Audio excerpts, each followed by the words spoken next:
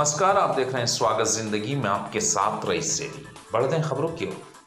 विज्ञान मेले का किया गया आयोजन छात्रों ने बनाए खूबसूरत मॉडल। जी हाँ, दमोह में जिला स्तरीय विज्ञान, गणित एवं पर्यावरण प्रदर्शनी का आयोजन किया गया।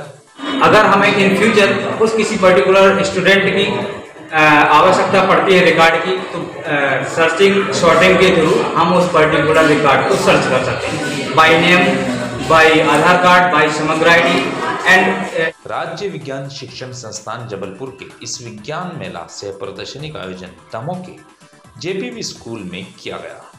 इस प्रदर्शनी में जिला के विभिन्न उच्च तथा उच्चतर स्कूलों के अनेक प्रतिभागी छात्र छात्राओं ने हिस्सा लिया। इसमें शामिल छात्र छात्राओं ने अपने मॉडल प्रस्तुत करके अपने मन में छिपे वैज्ञानिक सोच को प्रदर्शित किया। पीछे की तरफ़ छोटा छेद करके और चिमनी लगा दें। तो उसका जो सा और वो चिमनी छप्पर के ऊपर तक या छप छत के ऊपर तक लगा दें तो उसका जो सारा धुआँ है उस चिमनी के द्वारा बाहर चलाया जाएगा जिससे ना किसी को कोई तकलीफ़ होगी।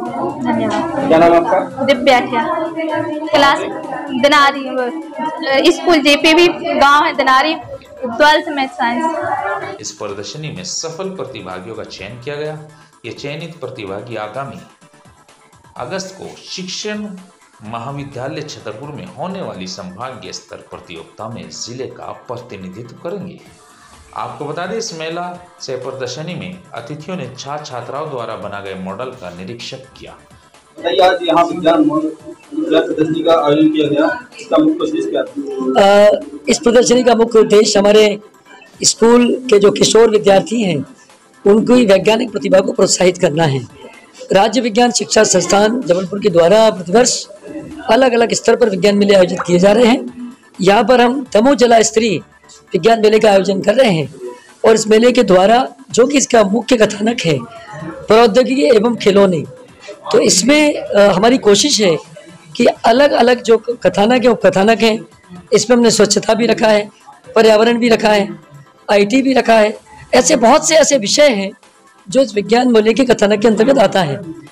और उनकी सराहना की। इस संबंध में शिक्षा विभाग से आयोजन डॉक्टर आलोक सोनलकर ने हमें विस्तृत जानकारी दी।